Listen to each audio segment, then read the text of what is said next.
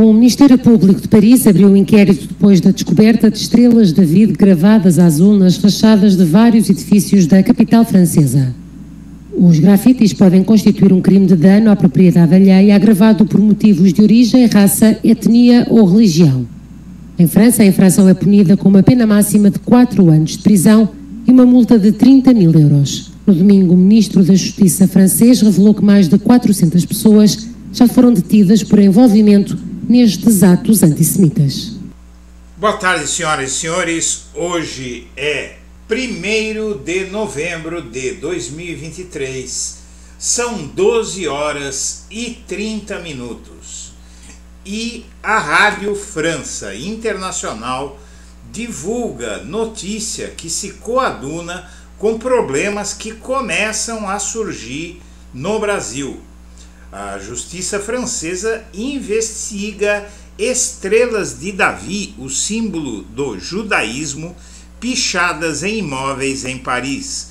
Moradores e autoridades de Paris ficaram indignados ao descobrirem na terça-feira que edifícios e lojas de quatro bairros da capital amanheceram com estrelas de Davi de cor azul pichadas em suas fachadas. A utilização desse símbolo do judaísmo que nazistas usavam para marcar a casa de judeus recebe atenção do Ministério Público, que abriu uma investigação.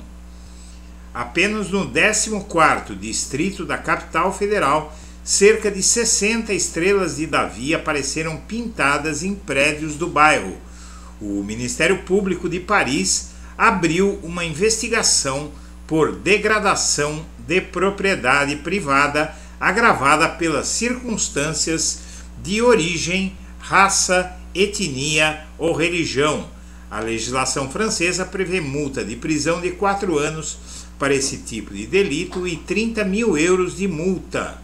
Essa overdose midiática sobre a guerra fará aqui no Brasil tantos estragos quanto está fazendo no mundo inteiro brasileiros, israelenses, entre aspas, e palestinos, com tantas aspas quanto, reais e fajutos, aqui no Brasil já começam a imitar tendência a atos de terror que estão vendo na overdose midiática e que fatalmente atingirão inocentes, que nada tem que ver com isso e atenção, essas ideias já podem ser vistas nas redes brasileiras.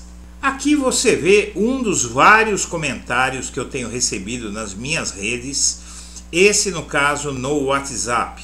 A pessoa de quem eu, logicamente, ocultei o nome disse: Se eu fosse jovem, juro que entraria para o Hamas, Hezbollah ou qualquer outra resistência e tacaria o terror em Israel, etc. Eu fiz um arrazoado sobre a insensatez da guerra. Escrevi: Vejam que a guerra é loucura, insensatez, ódio, desumaniza as pessoas ao ponto em que estão. É triste ver uma idosa, uma mulher idosa que escreveu isso, instigar que jovens pratiquem atos de terror contra uma nação porque os atos de terror não escolhem vítimas, atingem a todos indistintamente crianças, mulheres, idosos, pessoas, inclusive, que são contra as atitudes de Israel, podem ser vítimas de um atentado terrorista contra um alvo israelense.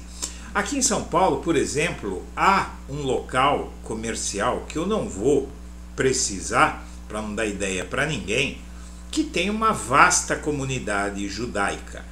Há outros lugares Brasil, eh, no Brasil que têm vastas comunidades muçulmanas.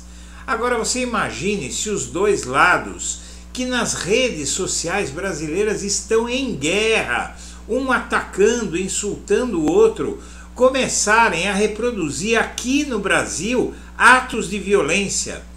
Importamos essa desgraça e passamos a não fazer mais nada além de instigar montanhas de comentários iguais ao dessa senhora, que não deve estar fazendo por mal, apenas está sendo instigada por gente miserável que lucra com o ódio e a guerra.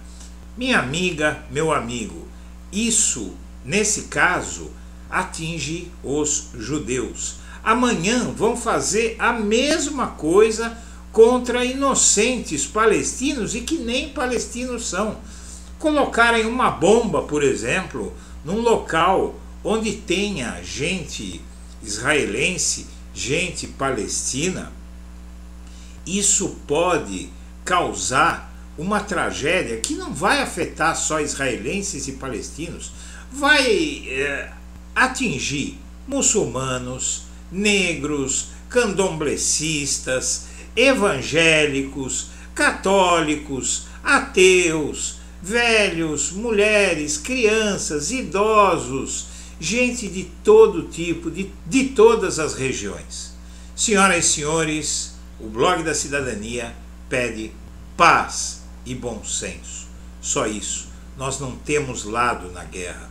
O único lado decente e moral numa guerra é a paz. Senhoras e senhores, tenho visto pessoas instigando nas mídias que a guerra não pare, gente dos dois lados dizendo que a guerra não pode parar. E em grandes e importantes meios de comunicação, inclusive um lado quer destruir o outro. No fim, todos serão destruídos, inclusive aqueles que nada têm que ver com isso. Senhoras e senhores, eu agradeço a atenção e deixo meu melhor abraço para todo mundo.